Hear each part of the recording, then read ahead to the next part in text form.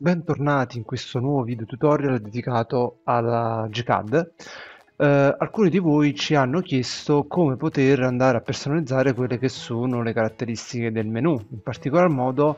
eh, vediamo che con la versione 2024 il menu principale è definito adesso con la modalità ribbon, quindi ogni scheda è suddivisa in sottocategorie ed è ordinata e eh, ci permette quindi di navigare in quelle che sono le varie funzioni. Eh, prevalentemente io innanzitutto ho la possibilità nella scheda ribbon di andare tasto destro del mouse e fare riduci, riduci icona barra delle multifunzioni. In questo modo io posso recuperare un po' di spazio nell'area di lavoro. Quando io vado a cliccare sulla scheda di ogni menu ribbon questo si ricompare. Se voglio andare a di nuovo a bloccare quello che è il menu basta semplicemente togliere la spunta su riduce icona uh, ad esempio posso uh, portare la barra multifunzione sotto della, la, la barra sotto la multifunzione quindi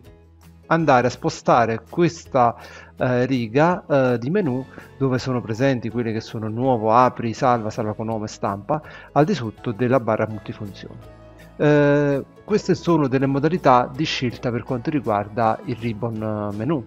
Ovviamente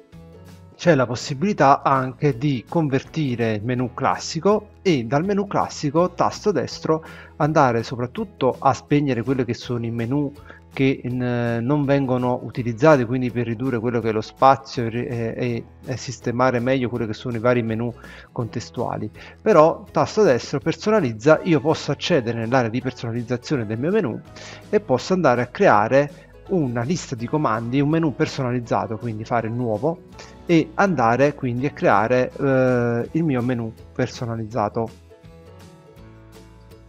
In questo caso una volta che ho cliccato sul menu personalizzato mi compare qui vedete c'è un menu libero dove non c'è nessuna icona vado sulla riga dei comandi e posso andare ad aggiungere quelle che sono una serie di funzionalità che posso inserire all'interno del mio menu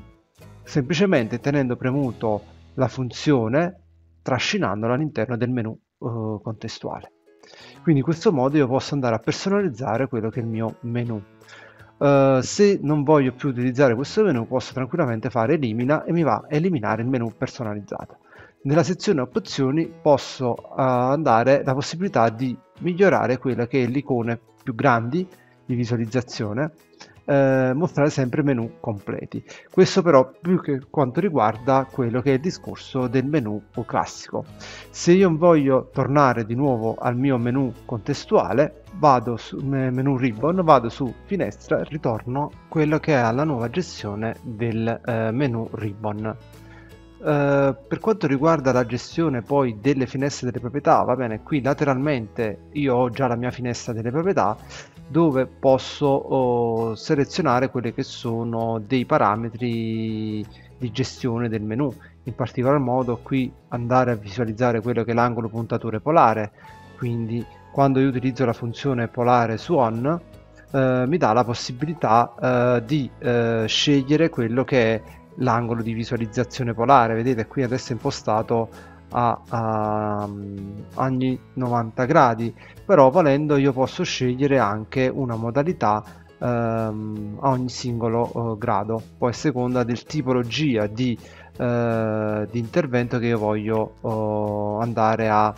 a, a monitorare Uh, per quanto riguarda poi uh, il discorso legato uh, alla gestione delle finestre, io posso spostare la finestra di proprietà, vedete si attivano delle funzionalità, delle frecce di, di, di impostazione che mi permette di scegliere dove poter selezionare e applicare quello che è la mia eh, finestra delle proprietà.